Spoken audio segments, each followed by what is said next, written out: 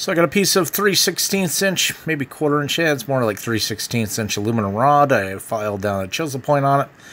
Got a piece of uh, dowel left over from another project.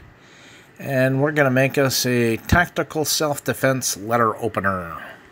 My kid argued with me that any weapon carried strictly for self-defense role in Vermont was illegal.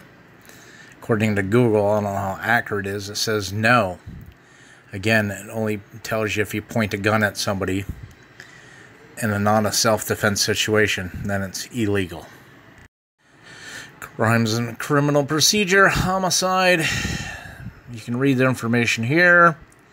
You have the right to protect yourself from somebody attempting to commit murder, sexual assault, aggravated sexual assault, burglary, robbery, with force or violence, or if you're a police officer is trying to suppress a, re- a rebellion or riot, serving legal process, all the other crap. I don't know why police officers in the military always get special exceptions. Okay, today we are making a tactical self-defense letter opener. Started off with a piece of dowel. I wish it was hardwood, but all I could find at the local hardwood store, hardware store, was some soft dowel. I don't know what kind of wood this is. And then I had an old piece of aluminum, I think this is 3 16 inch rod stuck around from an old ham radio antenna I had to fix. So I kind of put it on a file. I don't think that thing's showing the tip.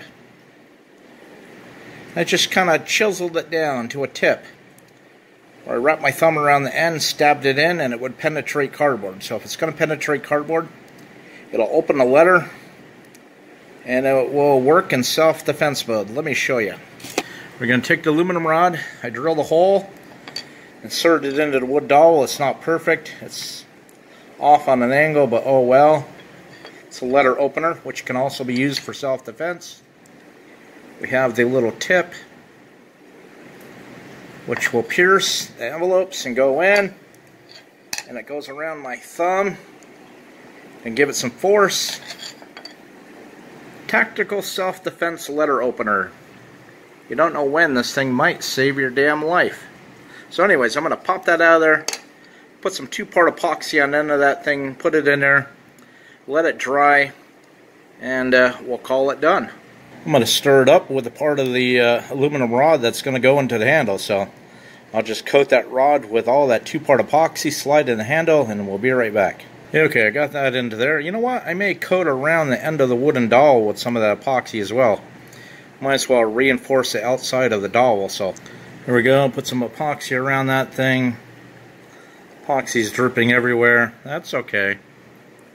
Just going to add some reinforcement to it, that's all. So, anyways, let me let the tactical self-defense letter opener dry and cure, and we'll be back when she's done. Definitely would not want to be stuck by that tactical self-defense letter opener. There you go. It's all done, all completed, and it works quite well. Man, I'm impressed. Crazy about Vermont is Vermont says that if you're carrying any weapon strictly for self-defense, designed for self-defense, carried for self-defense, then it's illegal. So, hey, here's my self-defense screwdriver put in my hand like that. I have to use it for self-defense. That would hurt. That would deter somebody. It's going to be a hit and run type of scenario.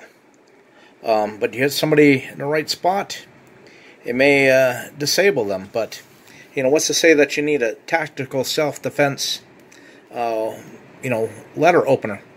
Anything next to you will work to save your life in a life and death situation. So, anyways, adapt and overcome, as the Marines would say.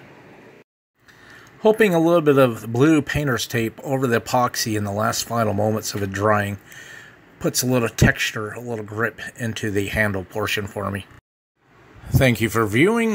Like and share. Subscribe. Don't forget to hit that bell notification for future videos. Some days I put out several videos a day. Most times I keep one in reserve for tomorrow, so there's always at least one video from me.